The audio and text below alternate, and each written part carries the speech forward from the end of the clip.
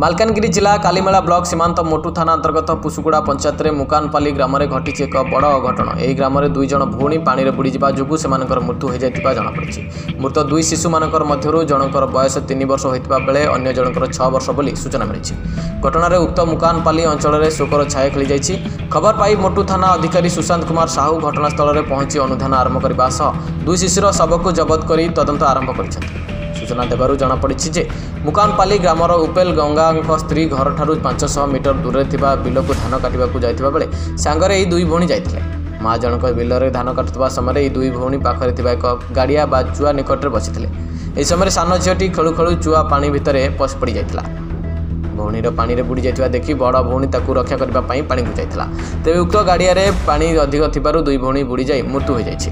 କିଛି ସମୟ ପରେ ମା ଆସି ଖୋଜାଖୋଜି କରିବା ପରେ ପାଣି ଭିତରୁ ଦୁଇ ଶିଶୁଙ୍କୁ ଉଦ୍ଧାର କରିଥିଲେ। କିନ୍ତୁ ସେତେବେଳକୁ ଦୁଇ ଭଉଣୀଙ୍କ ପ୍ରାଣବାୟୁ ଉଡ଼ି ଯାଇଥିଲା।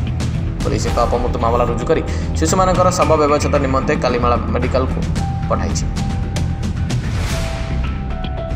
ମାଲକାନଗିରିରୁ ଆପଣଙ୍କ ସେନାପତିଙ୍କ ରିପୋର୍ଟ ନ୍ୟୁଜ୍ ଇଲେଭେନ୍ ଓଡ଼ିଶା।